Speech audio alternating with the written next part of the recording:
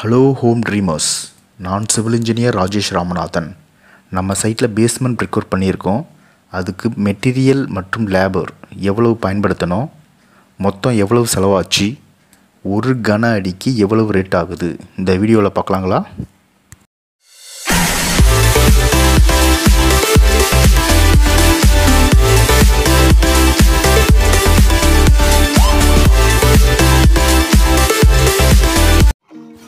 Ground floor ஃபுல்லாக car parking area அதனால் basement height ரெண்டு அடி ஆறு அங்குலம்னு லெவல் ஃபிக்ஸ் பண்ணியிருந்தோம்.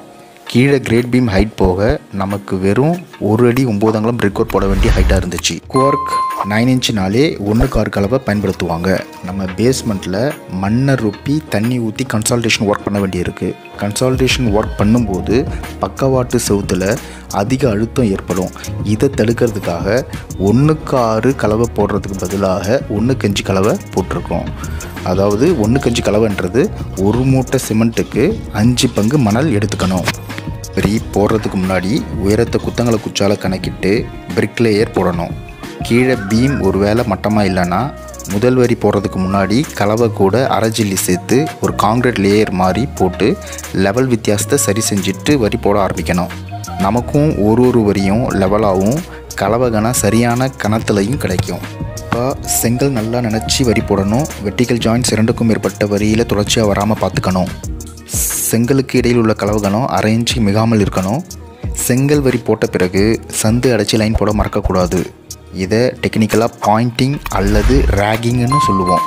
குறைஞ்சது ஏழு நாள் தண்ணி ஊற்றி கட்டு வேலையை நினைக்கணும். அப்போ தான் கட்டு வேலைக்கு முழு உரு உறுதி கிடைக்கும். இதை க்யூரிங்னு சொல்லுவோம். இந்த முழு பேஸ்மெண்ட் கட்டு வேலையும் பண்ணுறதுக்கு எவ்வளவு மெட்டீரியல் மற்றும் லேபர் பயன்படுத்தணும் அப்படின்னு சொல்லிட்டு பார்க்கலாம். சிமெண்ட் மொத்தம் பத்தொம்பது பேக் பயன்படுத்தணும். ஒரு பேகு முந்நூற்றி எழுபது ரூபா ரேட்டு மொத்தம் அமௌண்ட்டு ஏழாயிரத்தி இரநூத்தி பதினஞ்சு ரூபா.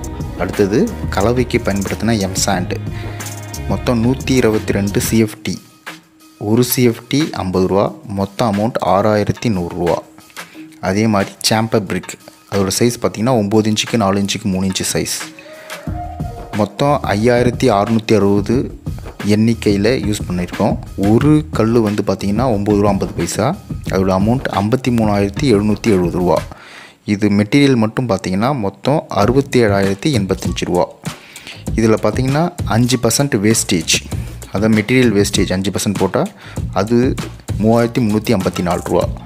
மொத்தம் அமௌண்ட்டு கூட லேபர் காஸ்ட் நம்ம வந்து ஓவராலாக லேபர் காஸ்ட் நம்ம எவ்வளோ யூஸ் பண்ணியிருக்கோம்னா இருபத்தி மூவாயிரத்தி எட்நூறுரூவா ஸோ டோட்டல் அமௌண்ட் தொண்ணூற்றி நாலாயிரத்தி இரநூத்தி முப்பத்தொம்போது ரூபா இருபத்தஞ்சி பைசா.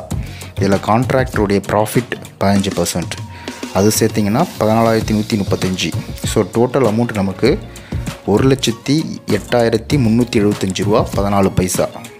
நாம் சரியாக செங்கல் கட்டு வேலை எவ்வளோ போட்டிருக்கோன்னா நானூற்றி பத்தொம்போது அடி நீளம் ஒம்பது இன்ச்சு அகலம் ஒரு அடி ஒம்பது அங்கலம் உயரம். மொத்தம் ஐநூற்றி ஐம்பது கன அடி அதாவது ஐநூற்றம்பது சிஎஃப்டி இந்த இந்த மொத்தம் பேஸ்மெண்ட் கட்டு வேலை ஐநூற்றம்பது கன அடி செய்கிறதுக்கு நமக்கான செலவு ஒரு லட்சத்தி எட்டாயிரத்தி முந்நூற்றி எழுபத்தஞ்சி ரூபா.